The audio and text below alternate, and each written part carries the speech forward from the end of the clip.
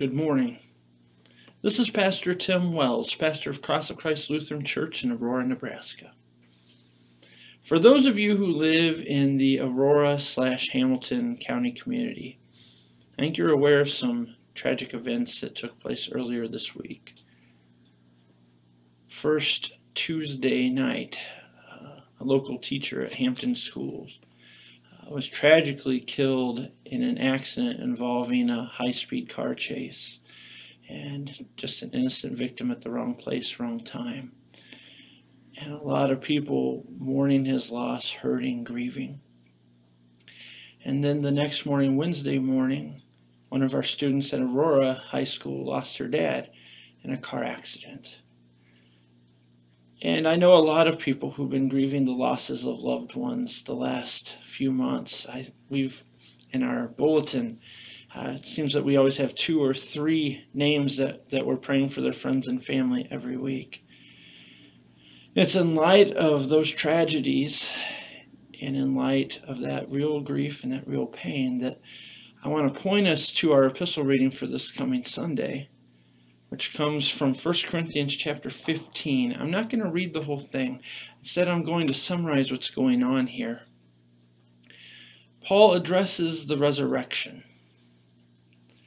There are people who doubt that there's life after death. They're saying, once we die, that's it. And Paul says this He says, I want to remind you of the gospel that I've been preaching to you. That gospel can be summarized in, in three parts. First, Jesus died on the cross for our sins. Second, Jesus was buried. And third, Jesus was raised from the dead. Paul then goes on to point us to the many people who had the privilege of being firsthand witnesses to Christ's resurrection. It says, First he appeared to Peter. I gotta find it. Here we go. Then to the other uh, apostles, so to the twelve he calls them. Then he appeared to more than 500 brothers at one time, most of whom are still alive. Meaning, for his original audience, if they want firsthand witnesses, they can go find them and talk to them. Then he appeared to James, then all the apostles, so all those who follow Jesus. And then last, as to one untimely born, he appeared also to me. And then Paul calls himself the least of all the apostles because he once persecuted the church. But God has shown Paul grace, and through grace has used Paul to share the gospel with countless people. And the point Paul wants to make is this the gospel he's been sharing, remember, summarized in three parts Jesus died, was buried, and rose again that's the same gospel that's been shared by all those other people Peter, James, John, all of them. They all shared the same gospel, and here is the point of that same gospel that Jesus has risen from the dead. Now, again, there are people Paul's writing to who don't believe in the resurrection. They're saying when we die, that's it. And Paul says if there is no resurrection, then how can we say that Jesus has risen? Not even he could have risen from the dead if no one's going to rise from the dead. And if Jesus hasn't been raised from the dead, Paul says, then I'm a liar. Peter, James, John, we're all liars because we keep telling you that Jesus has indeed risen from the dead. And if Jesus hasn't been raised from the dead, that means that we have no hope. Our hope's in vain. We have nothing to hope for. But I can tell you, Paul says, in fact, that Jesus has been raised from the dead because I've seen him, countless others have seen him. We know without a shadow of a doubt that Jesus is alive. He has been raised from the dead. And if Jesus has been raised from the dead, then we can know without a doubt that someday we too will rise to eternal life. As we find ourselves grieving and hurting, especially in the midst of such tragedies as we've had earlier this week. We find comfort and hope in that reality that Jesus has, in fact, been raised from the dead. And if Jesus has risen from the dead, and he promises that we too will rise from the dead, well, we can trust that promise.